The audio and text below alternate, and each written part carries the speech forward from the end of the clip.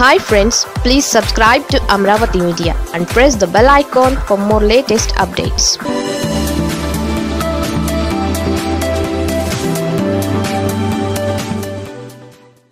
ఎంత రెచ్చగొట్టినా రఘురామపై జగన్ నిర్ణయం ఇదేనట.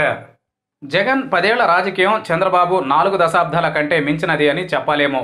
ఆయన ఎన్నో ఎత్తు పల్లాలు చూసేసిన రాజకీయం అది ఆయన పడ్డ కష్టం మొత్తం పొలిటికల్ కెరీర్లో చంద్రబాబు కూడా పడలేదు. ఇక దేశంలో ఎంతోమంది రాజకీయ నాయకులు ఉన్నా జగన్ పొలిటికల్ లైఫ్లో ఉన్న ట్విస్టులు ఎవరికీ లేవు. రాజకీయాలు అంటే ఉండే సహజమైన ఇబ్బందులే వారికి ఉన్నాయి ఇక జగన్ రాజకీయంగా రాటుదేలారు అందుకే ఆయన ఎవరెన్ని విమర్శలు చేసినా పట్టించుకోరు. అటువంటి జగన్కి ఆయన టికెట్ ఇచ్చి గెలిపించిన రఘురామకృష్ణంరాజు నుంచి గట్టి సవాల్ ఎదురవుతోంది. ఆయన గత నాలుగు నెలలుగా జగన్ని ప్రతిరోజు గట్టిగానే విమర్శిస్తున్నారు. జగన్ ప్రభుత్వం మీద ఆయన అనేక ఆరోపణలు చేస్తున్నారు. ఇప్పుడు ఇంకా ఆయన ముందుకొచ్చి జగన్ అసలు ధైర్యం మీదనే హాట్ కామెంట్స్ చేశారు. ఇక జగన్ని క్రిస్టియన్ ముఖ్యమంత్రి అంటూ కౌంటర్లు వేస్తున్నారు. ఇవన్నీ ఇలా ఉంటే జగన్కి ఎలాగైనా మండి తనను వైసీపీ నుంచి బహిష్కరించాలని రాజు ఆలోచనగా ఉందని అంటున్నారు. అప్పుడు తాను స్వేచ్ఛగా ఉంటానని ఆయన భావిస్తున్నారు. అయితే జగన్ ఈ విషయంలో పరమమొండి. ఆయనకు తెలుసు బహిష్కరణ అస్త్రంతో రాజుని వదిలేస్తే ఏం జరుగుతుందో. అయినా ఆయన ఇప్పుడు మాత్రం జగన్ని ఎక్కడ వదులుతున్నారు?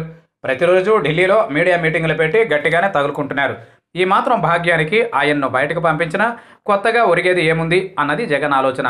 ఇక లోక్సభలో వైసీపీ పక్ష నేత మిథున్ రెడ్డి తాము రాజుని బహిష్కరించమని క్లారిటీగానే చెప్పారు. ఆయన మీద అనర్హత వేటు వేయమని లోక్సభ స్పీకర్ని కోరతామని కూడా అంటున్నారు. ఇది జగన్ రాజుల మధ్య అతిపెద్ద పొలిటికల్ గేమ్గా మారింది. రాజు ఇప్పుడు జగన్ మీద ఎన్ని విమర్శలు చేసినా లాజిక్ మాత్రం మర్చిపోకూడదు. రాజు ఎప్పుడైతే లాజిక్ మరచి కామెంట్స్ చేస్తాడో అవి ఆధారాలు చేసుకుని ఆయన మీద అనర్హత వేటు వేయించడానికి వైసీపీ రెడీగా ఉంది. దాంతో రాజు ఎంత ఆవేశంగా ఉన్నా కొంత తమాయించుకుని మాట్లాడాల్సి వస్తోంది.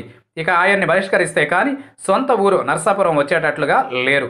ఏది ఏమైనా తప్పుల మీద తప్పులు రాజు చేయాలని జగన్ ఎదురు చూస్తున్నారు. జగన్ని బాగా కెలికి బయటకు పోదామని రాజు తాపత్రయం. మరి ఈ ఇద్దరిలో ఎవరు నెగ్గుతారో చూడాలి.